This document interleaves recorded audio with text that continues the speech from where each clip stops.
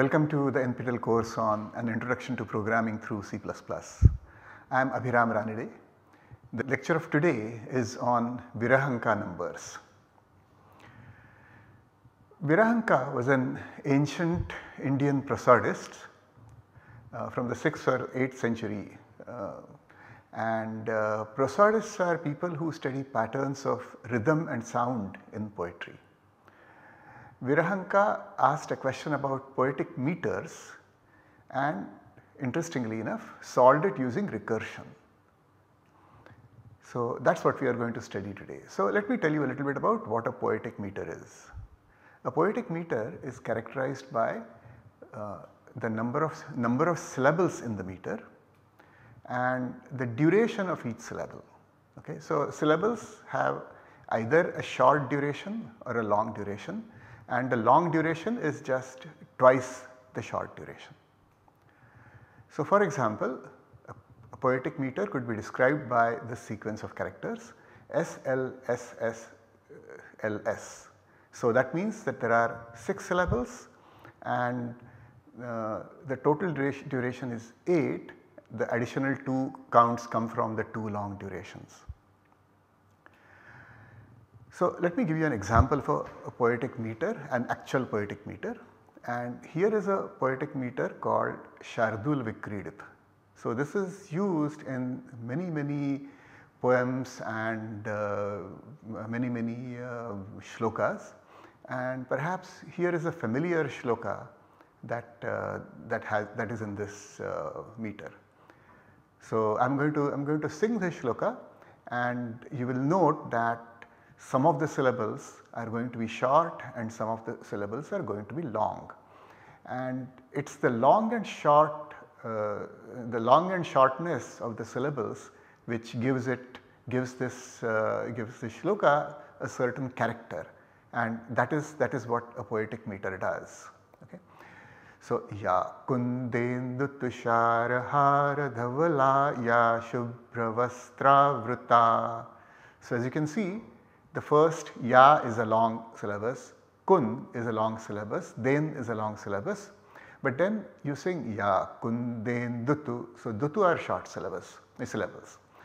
So, overall there are 19 syllables and the total duration is 30 if you count if you count it.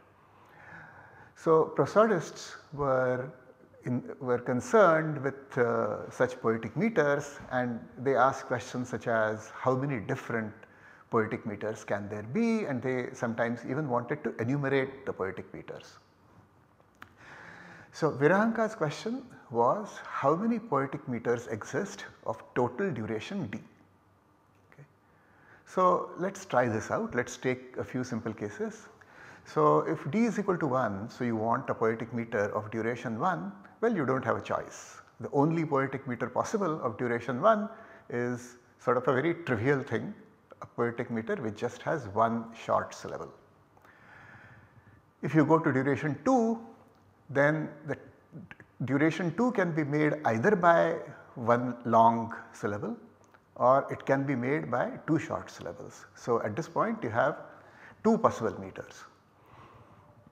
3 if you work this out, if you try this out and if you try to do this exhaustively, what do you get? Well, you get that uh, duration 3 can be made up by 3 short syllables or a short and long or, or a long and a short. So, there are 3 poetic meters of total duration d. Then for d equal to 4 you may again work this out. So, there might be all 4 shorts or you might have SSL, SLS, LSS or just two longs. Okay. Now we want to ask this question in general and so let us say that V of D denotes the number of poetic meters of duration D. Okay. And what we have worked out is that V of 1 is 1, V of 2 is 2, V of 3 is 3 and V of 4 is 5. Virahanka wondered whether there is an easy way to calculate V of t.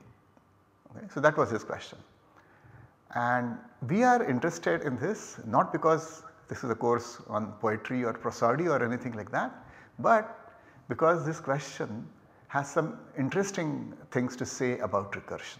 Okay, so let me tell you Virahanka's solution. So Virahanka observed that the first syllable of every meter must be S or L. Of course, I mean there is nothing much over here but that is that's just the first step. So then he said that look let me let me use S of D to denote the set of meters of duration D in which the first syllable is an S. Okay. So let us take an example just to make sure that this notation is clear. So if you take D equal to 4 then the set of all meters of duration 4 which we just worked out is this. And of these the first 3 have the first syllable S. So S of 4 is just those first 3 meters. Then L of D we are going to use to denote the set of meters of duration D with first syllable L. So clearly L of 4 are the remaining. So these 3 belong to S of L, S of 4, these 2 are the remaining ones from all the, the set of all meters of duration 4 and they clearly belong in L of 4. Okay.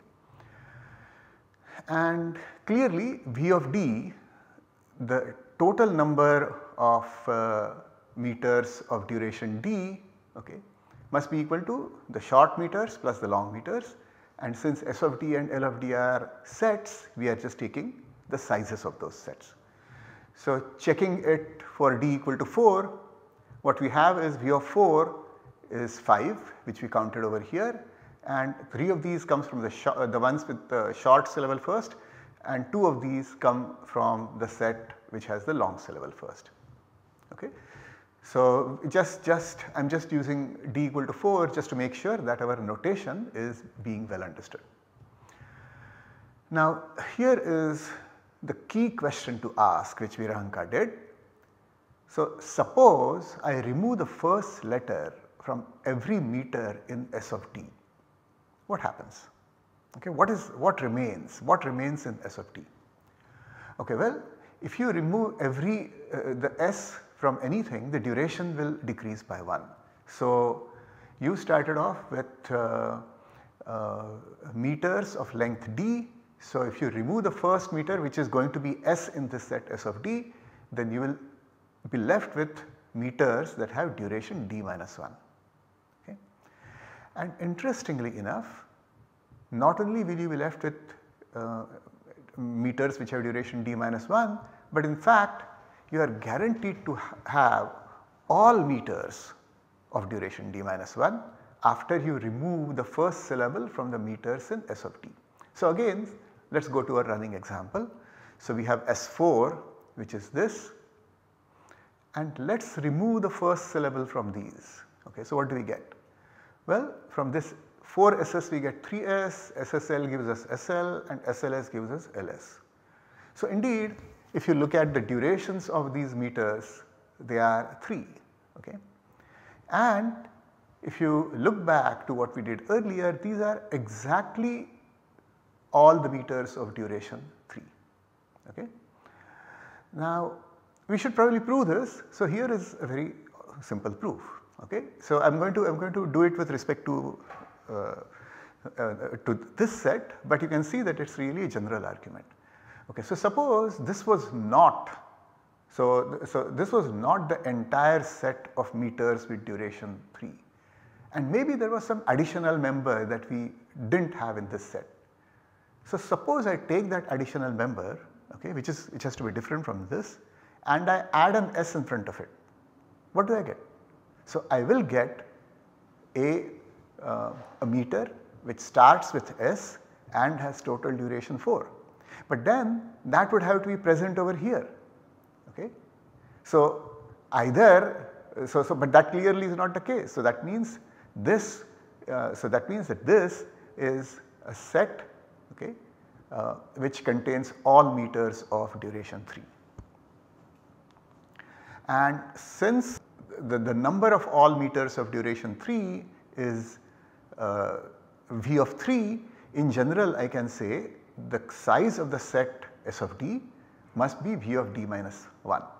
because after I remove one letter from all the meters the number of meters in this set does not change. So, that continues to be the cardinality of S of t and now we have established that that is the same as the number of meters of size d minus 1 and therefore that must be equal to Vd minus 1.